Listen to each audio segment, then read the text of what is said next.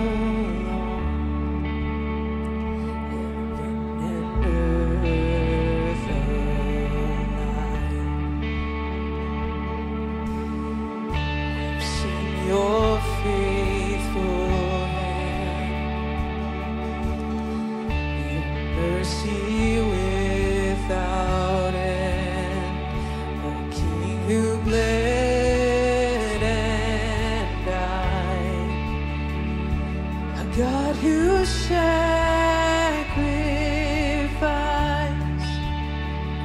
so be enthroned upon the praises of the.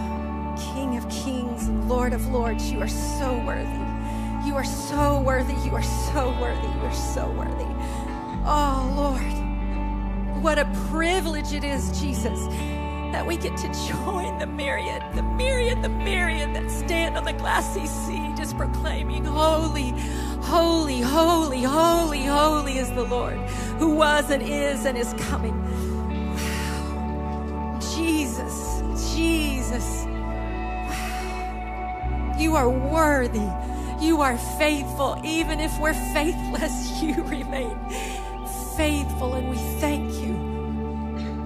Lord, we want to celebrate. We want to feast. We want to feast on your body, Jesus. Wow.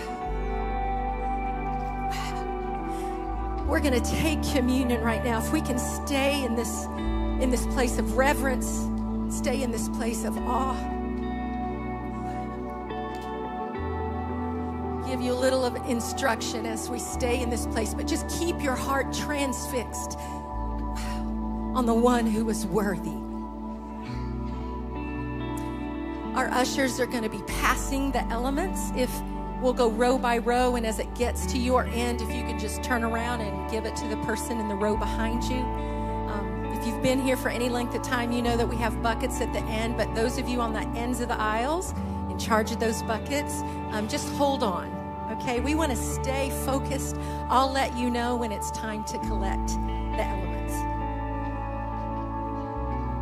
As I was uh, praying for our time, I just felt the Lord draw me into Hebrews 10. I encourage you this week, if you can, to read the entire chapter. It's rich with illustrations, but I don't know about you, but I wasn't, I was, I was raised on a farm but we didn't slaughter goats and bulls in a way to make ourselves okay. We didn't have to bring sacrifices. And what I realized for myself is that tends to be lost on me because I don't have a frame of reference. I was around animals, but I wasn't involved in the slaughtering process. And they weren't offered in atonement for my sin. So I just said, Lord, how can I relate to this today? And He's like, What do you do? Out of fear in hopes that you'll be in a better stat, state with me. Oh, I can relate to that. The ways by which I try to self improve out of fear, not out of love, because I am completely in love with the man who gave his life for me. Do you see the difference? We can respond and there can be religious activity because we can't help ourselves because he's worthy. But then there's things that we do in hopes that we can stay out of trouble. But Jesus has made a way. So I'm going to be reading at the beginning of chapter 10. So, the old system of living under the law presented us with only a faint shadow, a crude outline of the reality of the wonderful blessings to come. Even with its steady stream of sacrifices offered year after year, there still was nothing that could make our hearts perfect before God. For if animal sacrifices could once and for all eliminate sin, they would have ceased to be offered, and the worshipers would have clean consciences. consciences. Instead, once was not enough, so by the repetitive sacrifices year after year, the worshipers were continually reminded of their sins with their hearts still impure. For what power does the blood of bulls and goats have to remove sin's guilt?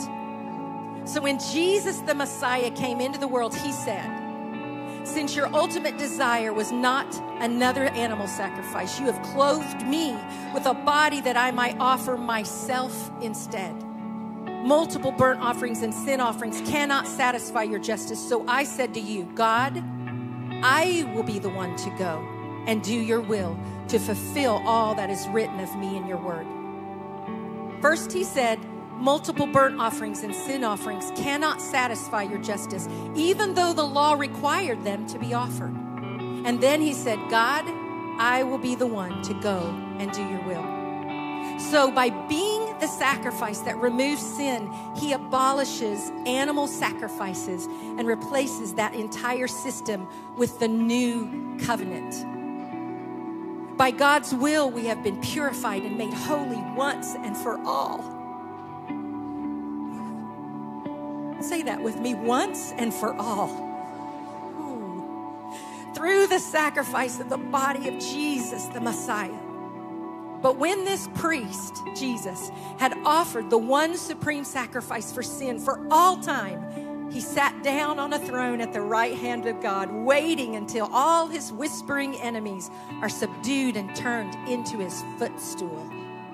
And by his one perfect sacrifice, he made us perfectly holy and complete for all time. Right? It is with this thanksgiving in mind that we get to partake, we get to feast on his body and his blood represented by these elements. In Matthew 26, 26, it says, As they were eating, Jesus took some bread and blessed it. So, Jesus, we ask you right now that you would bless these elements.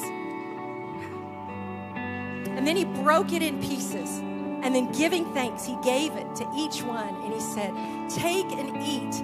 This is my body broken for you. So let's take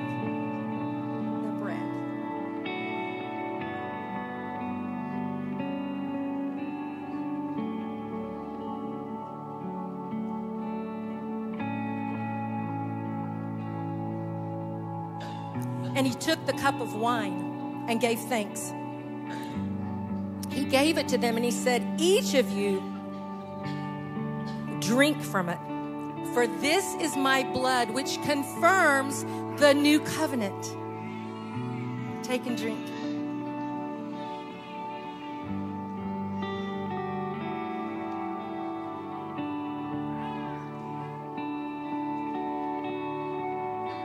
I'm going to read on, continuing in verse 19. And now, we are brothers and sisters in God's family because of the blood of Jesus. Wow. We are brothers and sisters. We are a part of one body because of this blood. And He welcomes us to come into the most holy sanctuary in the heavenly realm boldly and without hesitation. For He has dedicated a new life giving way for us to approach God. For just as the veil was torn in two, Jesus' body was torn open to give us free and fresh access to Him. And since we now have a magnificent high priest to welcome us into God's house, we come closer to God and approach Him with an open heart, fully convinced, say, fully convinced, that nothing will keep us at a distance from Him. For our hearts have been sprinkled with blood to remove impurity, and we have been freed, say, freed from an accusing conscience. Now we are clean, unstained, and presentable to God inside and out. So now wrap your heart tightly around the hope that lives within us, knowing that God always keeps his promises. Amen. Thank you, Lord. Thank you, Lord. Yeah, you can thank him now. That would be good. Jesus, we thank you for your sacrifice. Thank you, Jesus, that we are completely whole. We are completely made whole and holy by your blood. In Jesus' name. Amen. Thank you all. Thank you. Now you can uh, grab your little buckets at the end and pass those through the aisles and collect your, your containers there. Worship team, thank you so much for the way that you led us this morning. Yes, it's so beautiful. Well, I'm Christine. I'm on the pastoral team here, and I'm so glad to welcome you this morning to Grace Center and welcome to our online viewers. Um, if you're new to Grace Center, um, we would love to get to know you or answer any questions you might have. If you scan this QR code, uh, you'll put in some information, and a pastor will contact you later to answer any questions um, that you might have. At this time, we are going to receive our tithes and offerings. Woohoo! It's right. Um, you all know we have a PushPay app. You can use that, or you can go to gracecenter.us slash give. Um, or we have boxes at both the front and the back doors if you would prefer to pay with uh, check or cash. Um, we love to make declarations over our finances, don't we? So if you will stand with me, we are going to do that this morning. My favorite one, I always feel like I have to do a disclaimer. Pastor Jeff, I'm not asking for a better job, okay? I'm just repeating on the sake of everybody else. All right, here we go. Okay, as we receive today's offering, we are believing the Lord for jobs and better jobs, raises and bonuses, benefits, sales, tips and commissions, favorable settlements, estates and inheritances, interest and income, rebates and returns, checks in the mail, gifts and surprises, finding money, debts paid off, expenses decrease, blessing and increase. Thank you, Lord, for meeting all of our financial needs that we may have more than enough to give into the kingdom of God and promote the gospel of Jesus Christ. Hallelujah. Well, if you will be seated, we are going to run this week's announcements. Just turn your attention to the screen. Thanks.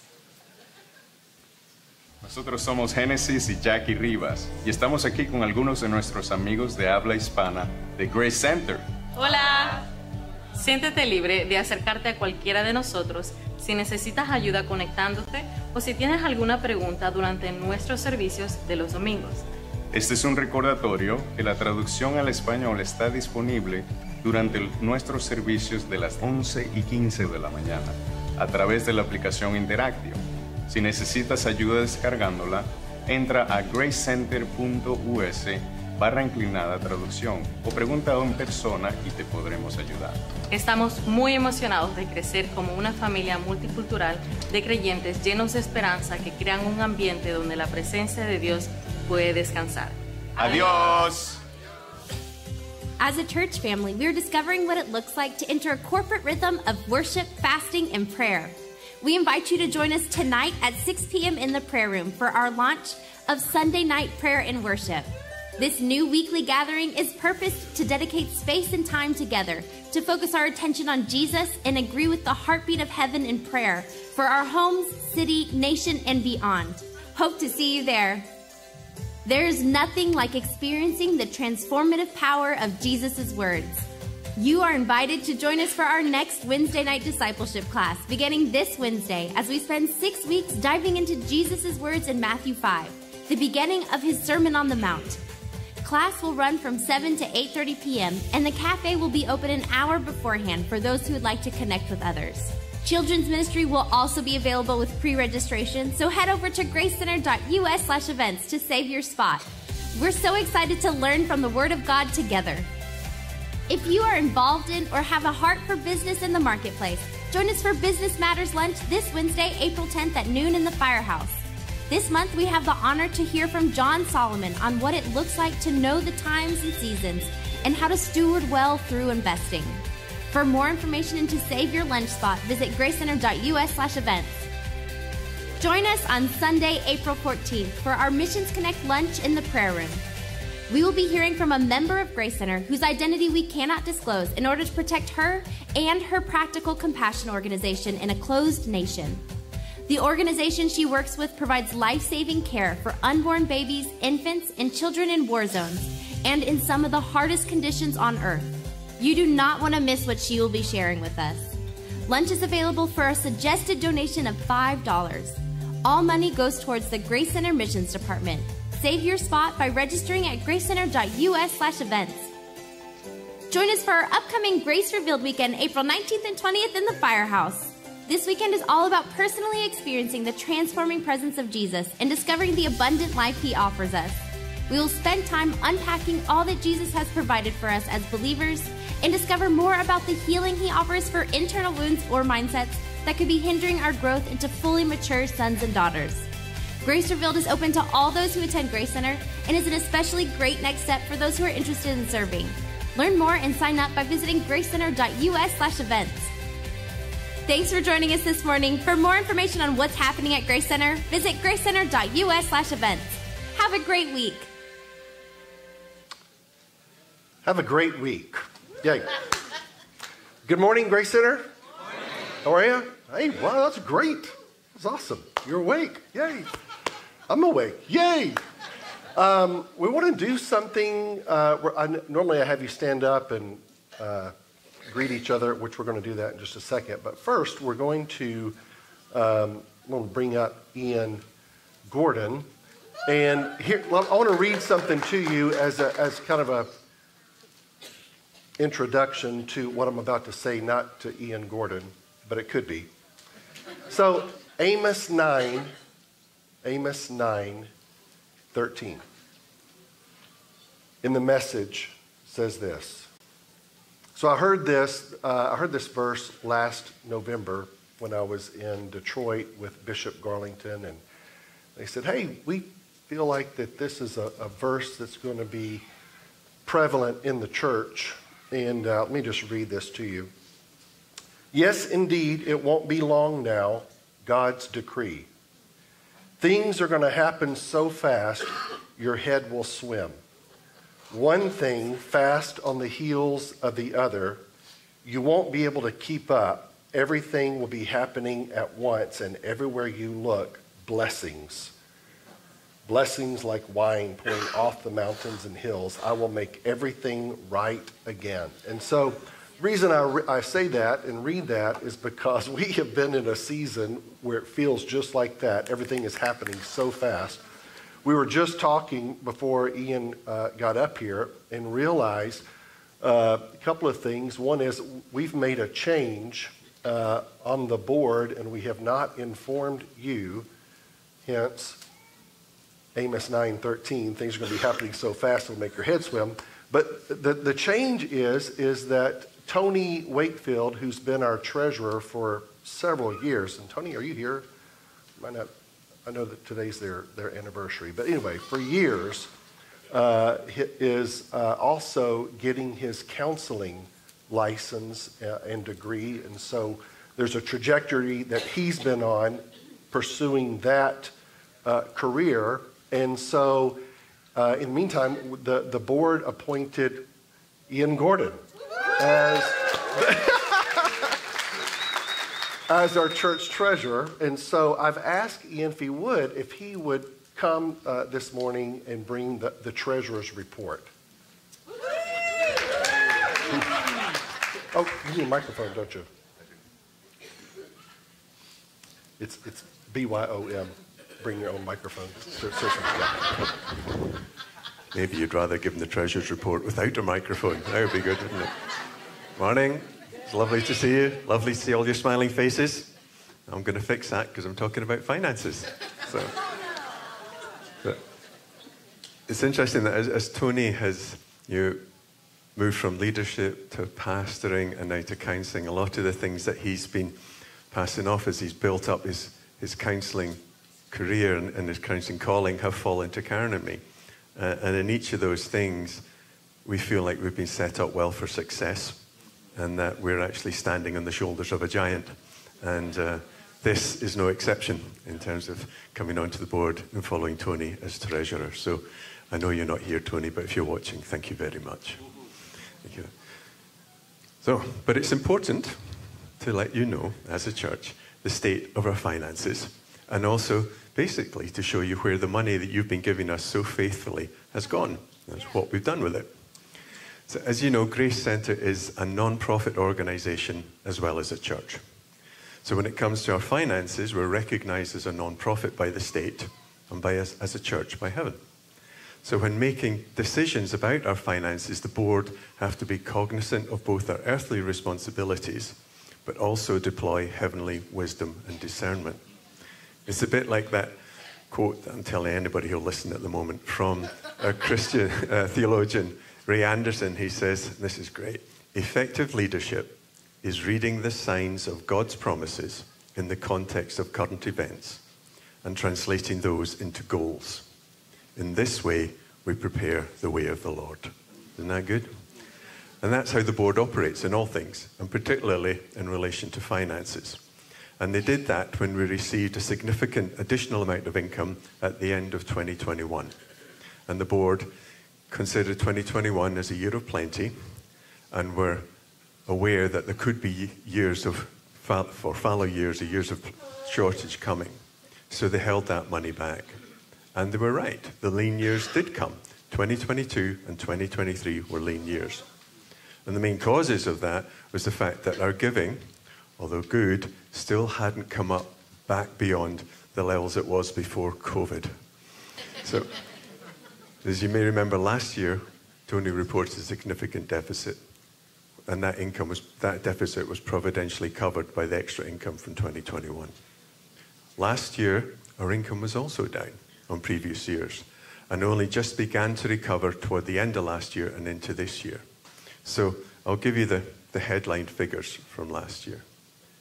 The total income from your tithes and offerings, which is the only source of income we have as a church, was just over three and a quarter million dollars. And I want to say here and now, if nowhere else, thank you. Thank you very much, so much for your sacrificial giving and for your faithful listening to the Lord and giving money to the church. You literally keep the church running with your giving. So large though our income was, they said it still hasn't come back up to pre COVID. Our expenditure, however, has had no problems getting beyond COVID. and this was how much we, we spent last year. This is what it costs to actually keep the church running day to day to day. These are our operating expenses. And just give you an idea of what that looked like and where that money went, here we got it broken up into a donut, not a pie chart, but a donut chart. We've got, come to the conclusion that mathematicians are always hungry. So we've got a pie chart, we've got a donut chart. But as you'd expect, Grace Centre is an organisation where primarily what we do is we provide pastoral care, ministry support, and other personal support to you and to our community. So you'd expect that the bulk of our expenses goes on our amazing staff team, and they are amazing. It's 55% of our costs, but believe me, it's a bargain. The remaining costs are all spent at out of pocket expenses to support the ministries that our staff provide, like our buildings, ministry materials, and such like. But everything we spend is directly related to the services the church provide, you as a congregation, and to the communities we support, both here and abroad. And we are, please believe me, enormously grateful for your sacrificial giving to the church. We literally, literally could not do this without you. So back to the headline figures. You've seen that our operating expenses are roughly the same as our income. So that gave us a very, very small operating surplus of just $8,000. But we see additional income to the tithes and offerings you provide, what we call designated giving, where you give money specifically for certain purposes or designations, like Papa's Pantry or missions trips or special offerings that we have every so often. And your additional giving last year was an amazing quarter of a million dollars. Again, thank you so much. And by law, we have to pass that designated giving on to the things for which it was designated. That's just what you have to do. So then we, when we look at that being given out of the church and we add to it the tithe, which we also give as a church, the total amount we gave from the church last year was just about $590,000. Some of you may be doing the math in your head and thinking, well, if you only had £8,000 profit, why are you giving away best part of $600,000? Well, we ask you to sacrificially tithe. We ask you to give into the Lord's work, and we do the same. We had this providential giving at the end of 2021. We knew we had it. It was a, a bit of a stretch to give it, but we gave as well. We can't ask you to tithe and not do it ourselves. We literally have to practice what we preach. So this left us with a very much smaller deficit than we had in 22, but a significant one nonetheless. But as in 22, the extra income we got at the end of 21 was enough to cover this deficit. And it also allowed the board to make a couple of items of capital expenditure, such as the new sound system we got in here, which is amazing, and replacing a number of HVAC units, which are failing with monotonous regularity around the church at the moment. But that, that extra income we got in 2021 is done now. and we're just beginning to look like there's some recovery in income, but we, we cannot be complacent in no way. So we praise the Lord for his provision and for the wisdom of the board in their stewardship and their decision making in recent years. But I would not be doing my job as treasurer if I did not earnestly ask you for your continued and even your increased support as we go forward. As the giving, our giving to the church, is the only income that we have. And as the church continues to grow in numbers and impact both here and overseas, we really need to just keep leaning in, keep leaning in, and continue to partner with the Lord in what He's doing to bring transformation to our homes, to our cities, and to beyond. Thank you very much.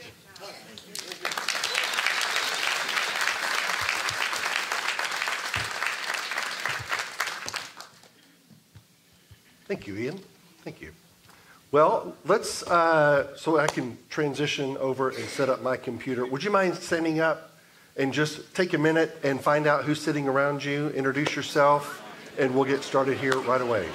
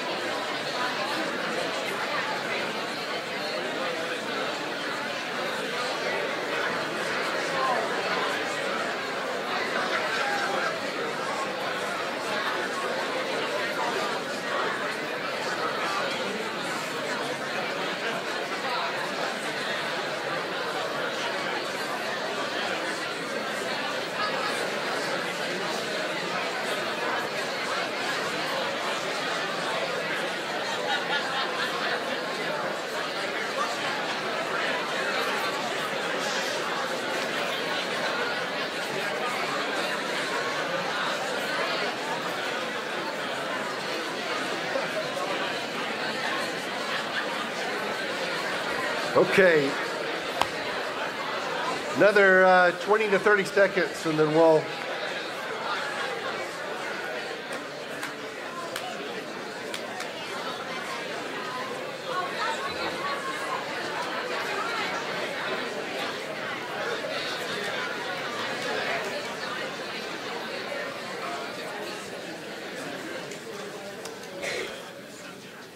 All right. um, I want to let this young man give us a testimony here. This is, uh, this is, a lot of you know Bill. This is Bill Zofel. And uh, Bill, uh, I'm not going to steal your thunder. I'm just going to say what you just told me. So Bill came up to me during uh, worship and said, uh, you know I'm a walking miracle, right? I said, yeah. He says, I'm happy to give my testimony anytime.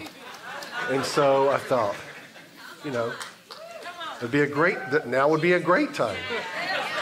Can you tell us what's going on? Um, yes.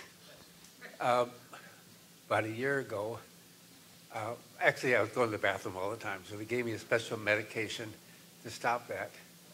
And the blood work showed that it messed me up. So they sent me to the emergency room to figure that out. Went in the hospital. My kidneys were swelling and hard. They had to put stents into the kidneys. And while they were looking at that, I found I had stage four prostate cancer. So thinking, okay. So um, no pain, but what's going on? So got out of the hospital after about a week. And for three or four weeks, I had a hard time breathing. So they checked my lungs. The right lung was swimming in water. They took 1.3, 1.1 liters of water from my right lung. Two days later, they took 1.3 liters from my left lung. Uh, still having trouble breathing. Went uh, two days later, we were doing the, uh, the checkup for my heart. And they said, Have you ever had a heart attack? And I said, No. They said, You need to go to the emergency room. They sent me to the emergency room, and uh, they checked my heart. I had 95% blockage in my major artery, the, the widowmaker. Hmm. So my lungs are floating in water. They're still doing that at that time. My kidneys aren't working. My numbers for cancer, which is supposed to be like one to three, were 238. So um, they did the stent. I am here. Through all this has been no pain. Um, and the amazing thing, I'm pr- pretty much free from all my doctors now. But I got a check for my stage four cancer. So we took 11 family members to Disney World for our 60th anniversary. So we were great. Well, the numbers in the cancer went down to under one. So, yeah.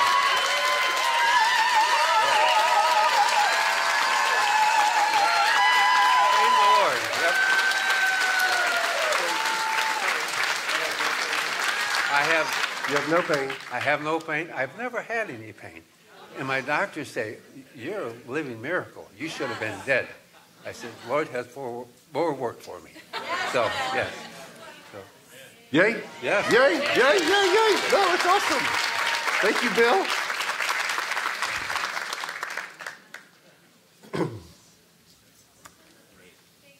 Thank you, Bill.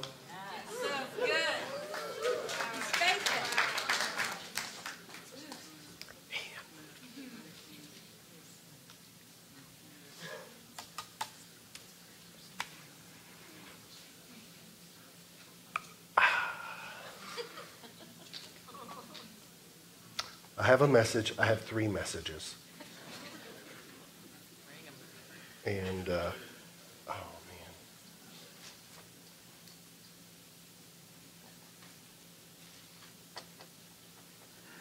man. yeah, I think I need to give this, say this. So you have your Bibles, Isaiah chapter 7. Um, I want you to, I want you to see something because I believe that, especially on the heels of, of Bill's testimony, that there's an invitation for us, you, I, as individuals, that we step in and bring our impossible, whatever it is, situation to the Lord. And that the Lord is wanting to do the same thing that He's doing for Bill for you. And so, and me. and so I want to read something, and, and, uh, and it's going to be a little bit tricky to follow along, uh, could be. So there's three, there's three characters in this story. We're starting with Isaiah uh, 7.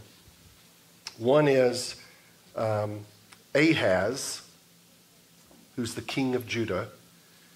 The other is King Rezin of Syria. Some of your uh, text might say Aram. And then there's Pekah, which is uh, the king of Israel. So um, Rezin and Pekah have joined together to attack Judah, Ahaz. All right? You with me? So, verse 2 The news had come to the royal court of Judah. Syria is allied with Israel against us. So the hearts of the king and his people trembled with fear like trees shaking in a storm. Verse 3 Then the Lord said to Isaiah, Take your son, you can translate that one, and go out to meet Ahaz. You will find him at the end of the aqueduct that feeds water into the upper pool near the road leading to the field where cloth is washed. Tell him to stop worrying. Might want to underscore that one. Tell him to stop worrying.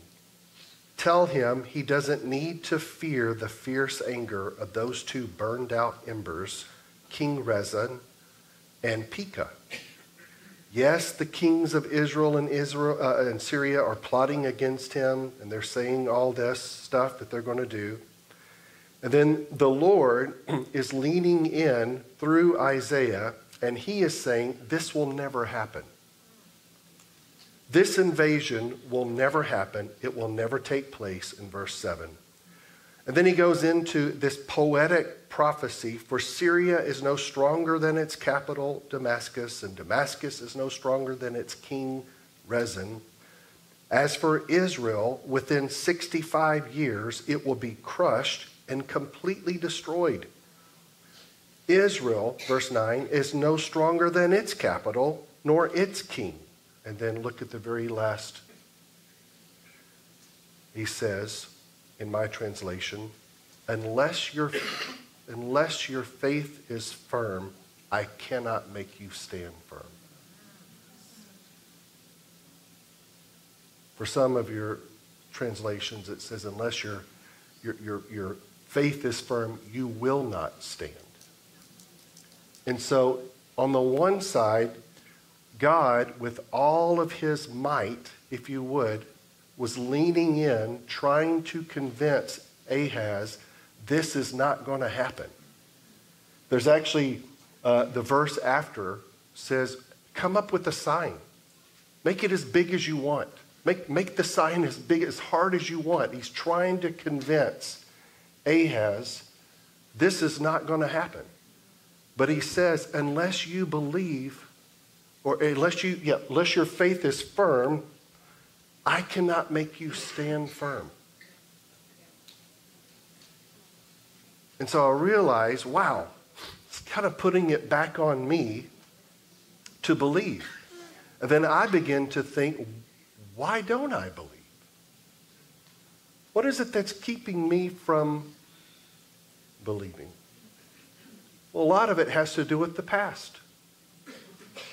A lot, of ha- a lot of it has to do with disappointment. I don't want to be disappointed again.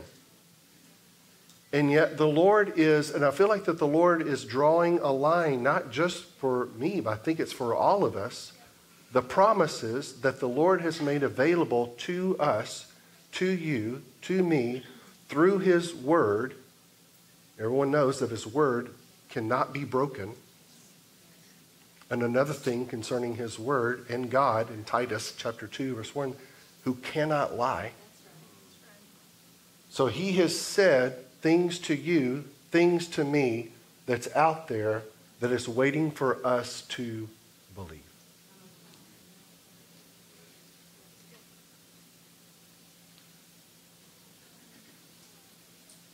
Don't look at me in that tone of voice.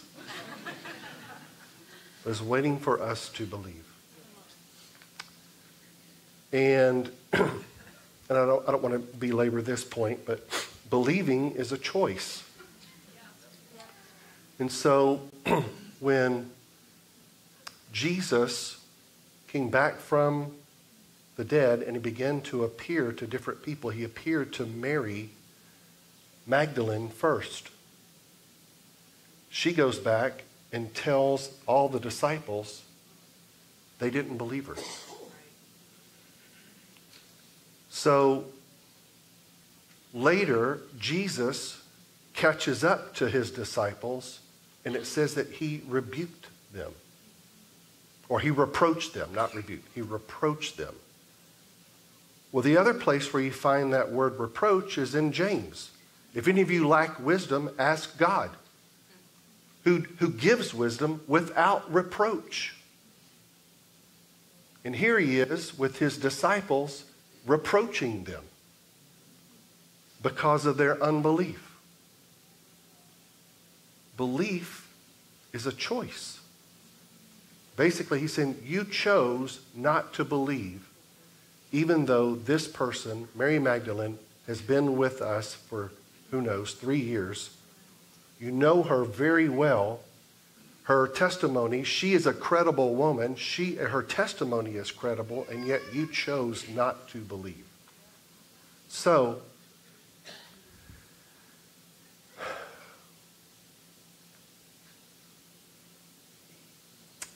it seems like that the Lord is bringing this, this thing of trusting in Him back around full circle for us as a church.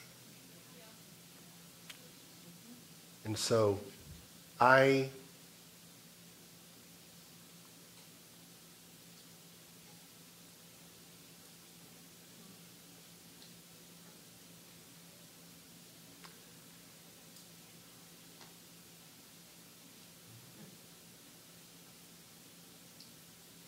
seems like as a church we need to step into this invitation. And I don't know how to do that.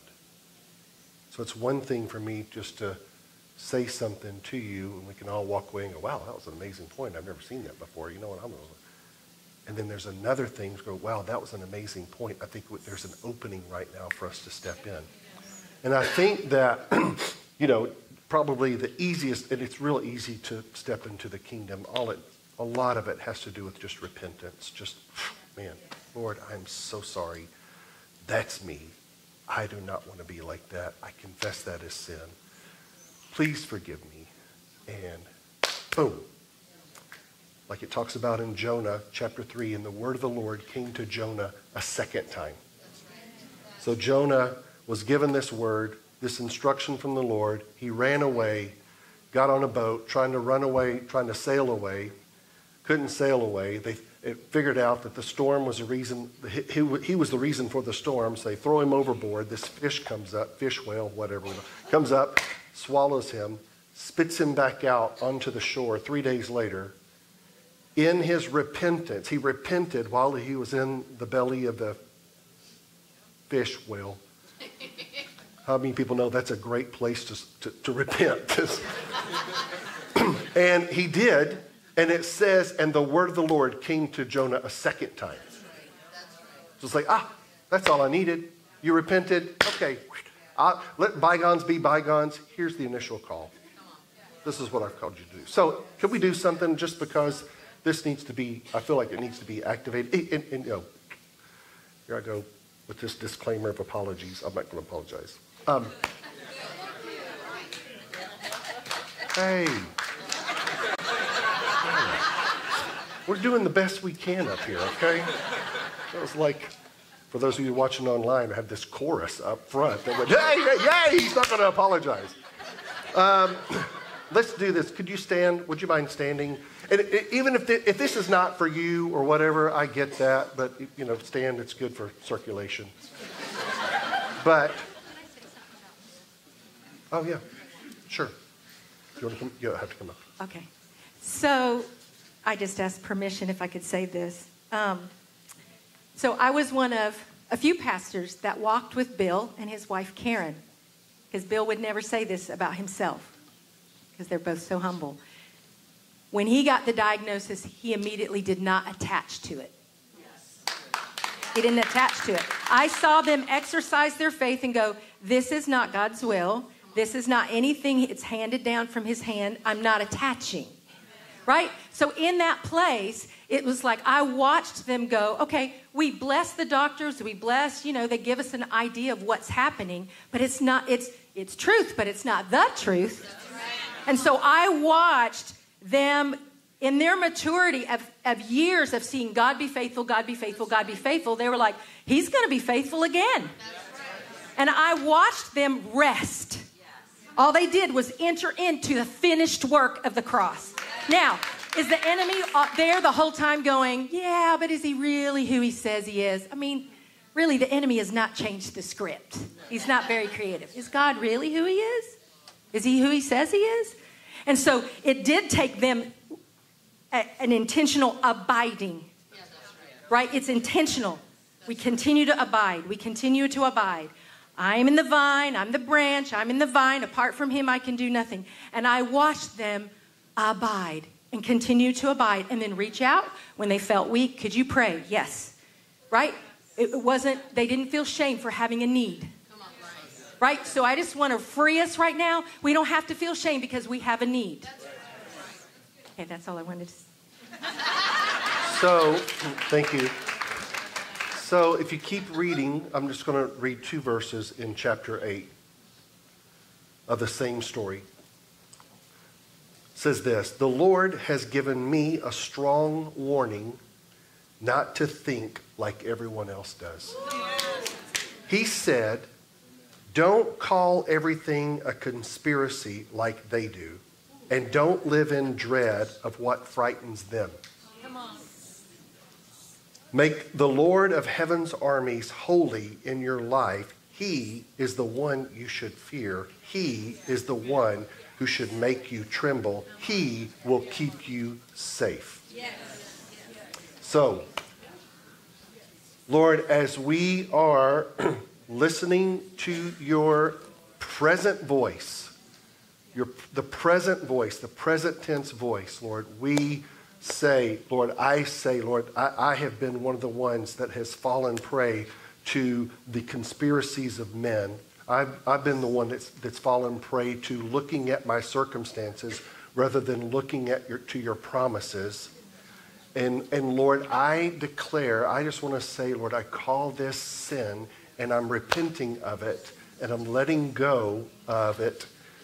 And so, Lord, we as a congregation, Lord, we stand before you and it could be it could be personal issues uh, health issues it could be i don't know what your issue is. It could be children it could be family it could be job it could be uh, uh, what, whatever it is. But lord we are laying this aside lord and we're stopping looking at the impossibility of it and we are turning our eyes to look at the possibility of who you are and who you say you are. And we put our faith in your word. In your word, not on our surroundings, not according to what we see or what we don't see. We walk by faith, we don't walk by sight.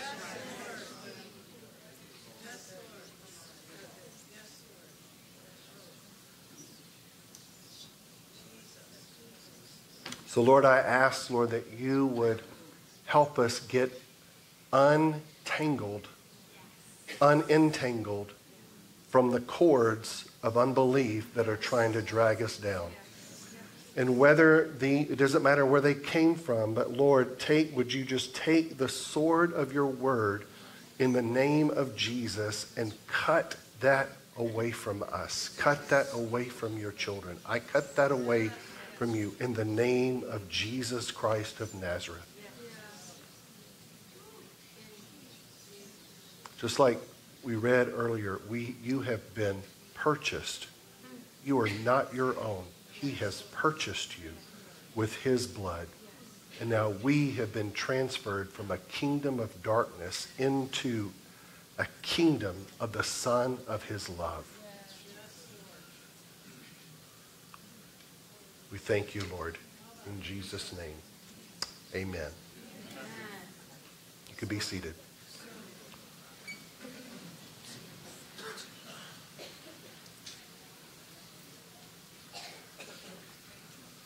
That might be it. I think that if we walk out of here with that under our arm, we'll be doing good. So, Christine, you want to come up and, yeah. Can we thank Pastor Jeff? So good. So good. Oh, it's lovely being with you all today. Hey, so just to, as a reminder, we have the worship and prayer tonight. What time? Six. Good. And I just want to put, as a member of the discipleship department, uh, that's Matt, Amanda, uh, Shannon, and myself. We really prayed into, okay, Lord, what do you want to disciple us into this year? And really felt like the Lord said the Sermon on the Mount, that it was really important that we get those principles, those truths into us. So I just want to encourage you. We actually start this Wednesday. So if you were not sure if you wanted to um, come to class, we really encourage you. Pray, ask the Lord, obviously. Um, but please go ahead and register for that. We have childcare, but we need, in order to make provision for you, um, we need you to register your kids. Uh, that's here Wednesday nights, 7 o'clock. But, you know, it's rich with the Beatitudes and, and little dainty morsels like hatred and murder and divorce and adultery and how to be light. Like we're going to wrestle with all those things. And so we would love to join, would love for you to join us. So you just need to go online and register for that. Okay. I've said that. And we have an amazing prayer team. Come on up, prayer team. Give it up for our prayer team. So they pray and ask the Lord what's on the Lord's heart. And so we get words of knowledge, which I'm going to give you in a moment. But any prayer need that you have, we delight to just partner with the Lord with you in praying um, for any need you might have. I ask that you come to this aisle and where we can serve you. So, any prayer need that you might have, and and this is for those watching online as well. Um, if you have any of these things, this is what the team got for first service. Uh, you're struggling with headaches, pain in the scapula, a ruptured disc, hernia, Brain fog, well, that would be most of us now, wouldn't it? Sorry, no. We reject that brain fog. Um, ulcers, knees and knee injury. uh, I see you out there. Brain injuries and tumors, scarlet fever, anxiety, self hatred, skin rash, debt freedom, uh, PTSD related to military service, spinal alignment, freedom to live in joy. So if you've been praying, Lord, I don't know how to do this joy thing. We'd love to pray for you. Freedom to communicate what's in the heart and on one's mind, and then freedom from fear, replaced with courage. So if you have any of those, or if you're watching online, you can grab any of that by faith.